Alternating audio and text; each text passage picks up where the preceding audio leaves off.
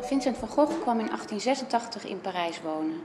En hij bleef er twee jaar en ontwikkelde zich in die tijd heel snel van een traditioneel werkend kunstenaar tot een moderne schilder. Hij ontdekte in Parijs de schilderijen van de impressionisten en de pointillisten. En hij ging zelf met die technieken experimenteren. Zoals we zien in dit schilderij, dat hij maakte op Montmartre. Uh, hij schildert hier heel dun. En hij werkt, uh, je ziet zelfs de ondertekening nog erdoorheen, zoals hier in het weggetje.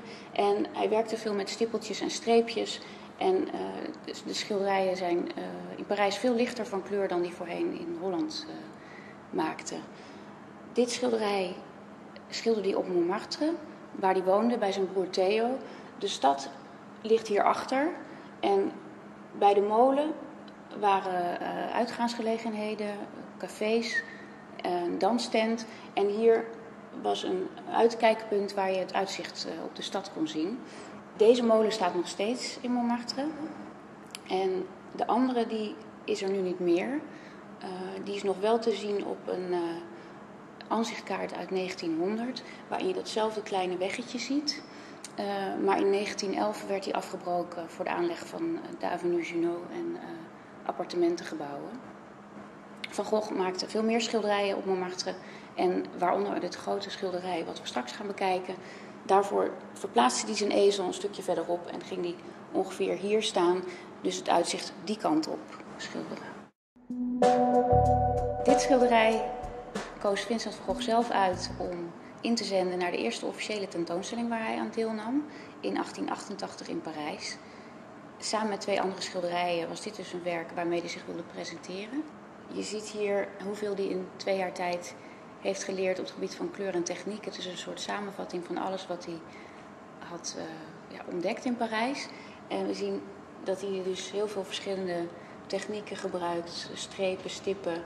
En dit uitzicht is uh, op dezelfde heuvel gemaakt als het schilderij wat we net zagen, maar dan een stukje verderop. En hier waren moestuintjes. En je kijkt hier op de stad, hierachter zien we fabrieken. En nou ja, het is een heel mooi zonnig zomers landschap. En Van Gogh zelf vond dat er buitenlucht en vrolijkheid in zat. Hij was er heel tevreden over.